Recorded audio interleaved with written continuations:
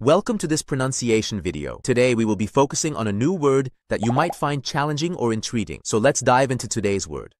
Ans, which means, Hans, a common male given name of German origin.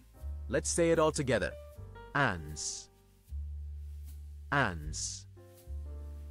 Ans. One more time. Ans. Ans. Ans.